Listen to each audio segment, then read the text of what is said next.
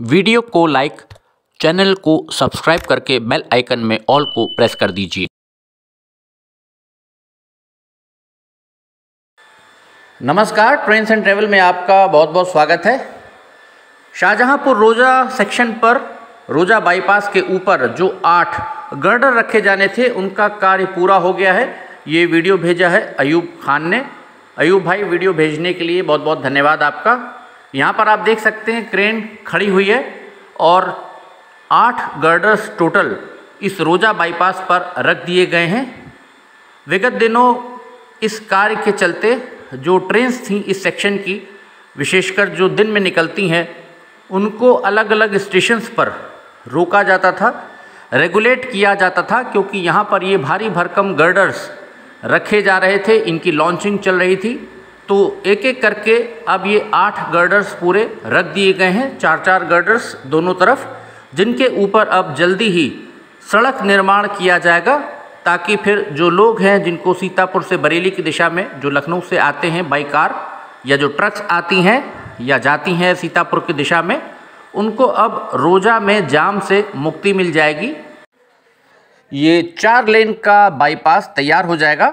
जिसके चलते जो ट्रैफ़िक की समस्या है रोजा के अंदर, वो ख़त्म हो जाएगी तो इससे स्थानीय लोगों को भी फ़ायदा मिलेगा, राहत मिलेगी और लोगों का भी समय बचेगा। जो by car by road travel करते हैं लखनऊ से बरेली के बीच में तो यहाँ पर आप देख सकते हैं गर्डर लॉन्चिंग पूरी हो गई है। अब इस बाईपास को फिनिश करने का काम यानी कि जो सड़क बनाने का कार्य है, वो किया जा रहा है।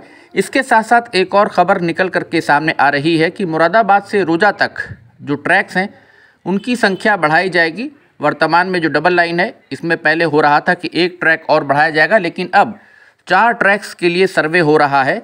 मुरादाबाद मंडल से जो टीम है, वो इसका सर्वे करेगी, क्योंकि दबाव बहुत है मालगाड़ियों का और यात्री गाड़ियों का, जिस कारण से एक सौ अड़सठ किलोमीटर लंबे इस रेलखंड पर मुरादाबाद से रोजा तक चार ट्रैक्स किए जाएँगे भविष्य में। इसके लिए सर्वे किया जा रहा है और उम्मीद करते हैं कि इस पर जल्दी ही मुहर लग जाएगी और उसके बाद ये कार्य भी जल्द से जल्द शुरू करना चाहिए रेलवे को, क्योंकि यहाँ पर रेलगाड़ियाँ मालगाड़ियों के चलते पिट जाती हैं, घंटों लेट हो जाती हैं।